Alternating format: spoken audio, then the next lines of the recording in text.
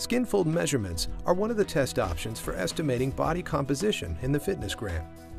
Skinfold measurements provide an estimation of the percentage of a student's weight that is fat in contrast to lean mass, which includes muscles, bones, and organs.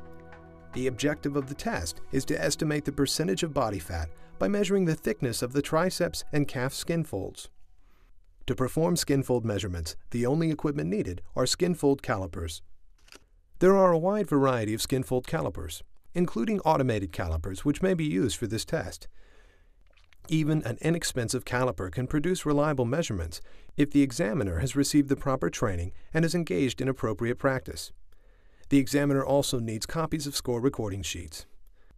Before the day of the test, students should be provided with instruction about body composition and the objective of skinfold measurements.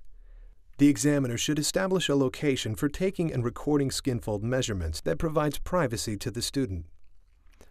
For the triceps skinfold, the student should relax the right arm while the site is located. The measurement is taken at a site which is one half the distance between the acromion process of the scapula and the elbow on the back of the right arm. The elbow is bent to 90 degrees. The skinfold site should be vertical. Once the vertical side is located, the examiner should firmly grasp or pinch the skin one half inch above the midpoint. The skinfold should be grasped between the thumb and forefinger and lifted away from the other body tissue. The grasp, while firm, should not be painful to the student. The caliper is placed one half inch below the pinch site and the measure is registered. This measurement process is repeated three times with each measurement recorded to the nearest half millimeter. For the calf skinfold, the student should place their right leg on an elevated surface so that the knee is bent at 90 degrees and the foot is flat on the elevated surface.